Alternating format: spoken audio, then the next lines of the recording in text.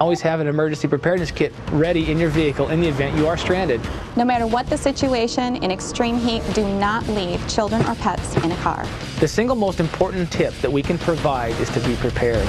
This extreme weather tip was brought to you by OnStar. For more information, go to OnStar.com. Are you prepared? I've been Regrouting my shower. And? Made a lot of trips. Three? Five.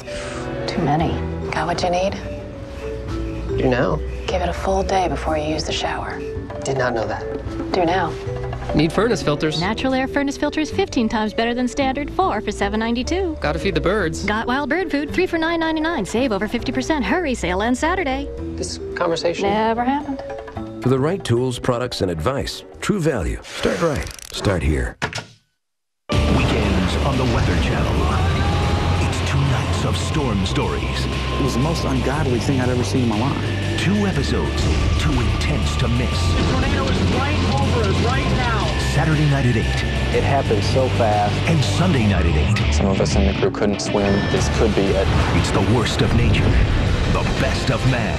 I promised her we will be back. Storm Stories, Saturday and Sunday nights at 8 on the Weather Channel. Making it up. Three, two, Eight minutes past the hour on Wake Up with Al. Steph? Tomorrow, my favorite day of the week, minus Monday through Friday with Al, of course.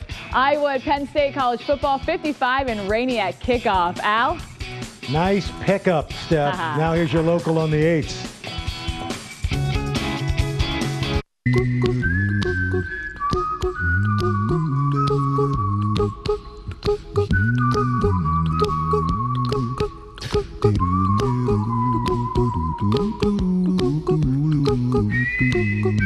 Our local Doppler radar.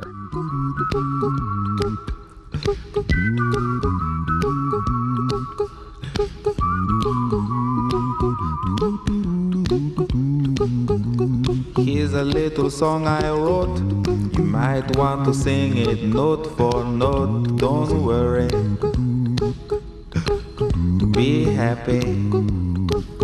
In every life we have some trouble. Today, afternoon showers. High 67. Winds east southeast at 10 to 15 miles per hour. Chance of rain 30%. For tonight, showers early then cloudy overnight. Low 55. Winds light and variable. Chance of rain 30%.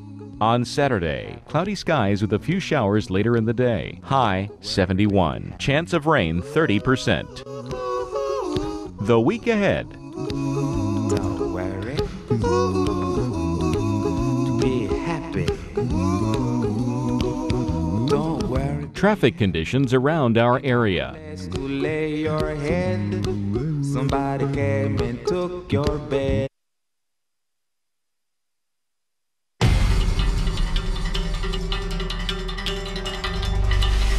And we continue to follow the flood disaster in Georgia this morning. Stephanie? Unfortunately, the problem will remain for a long time for many families in the Atlanta metro area. For more details, we want to take you to Austell, Georgia, which is on the west side of Atlanta, where we've seen lingering effects from the high water. WXIA reporter Julie Wolf is joining us live this morning. What are the top concerns this morning, Julie?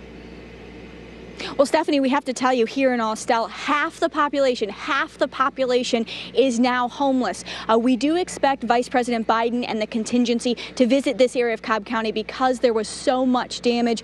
Residents here tell me they hope this high profile visit will help speed along the federal money they need to rebuild their homes.